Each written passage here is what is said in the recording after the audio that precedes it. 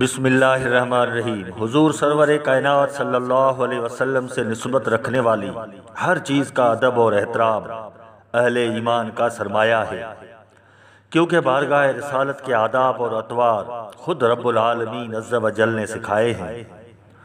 فارسی کے ایک عظیم شاعر عزت بخاری کا ایک شعر جو آداب بارگاہ رسالت میں ضرب الامثال کی طرح بن گیا ہے۔ علامہ اقبال بھی اس شعر سے بہت متاثر تھے۔ عزت بخاری لکھتے ہیں، ادب گاہست زیر آسماں از عرش نازک تر۔ نفس گم کردہ می آیت جنید و با یزیدین جا۔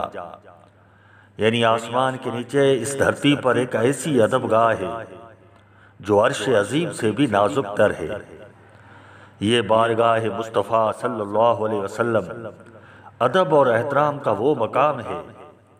جہاں جسمانی اور روحانی طاقت میں مشہور سید الطائفہ خواجہ جنید بغدادی اور دنیا تصوف کے مشہور شہ سوار سلطان العارفین بایزید بستامی رحمت اللہ علیہ جیسی ہستیاں بھی اپنی سانسوں کو بلند آواز میں لینے کی جرت نہیں کرتے تھے بلکہ اپنی سانسیں روک روک کر آتے ہیں کہ کہیں ان سے بارگاہ رسالت میں کوئی بید بھی سرزد نہ ہو جائے۔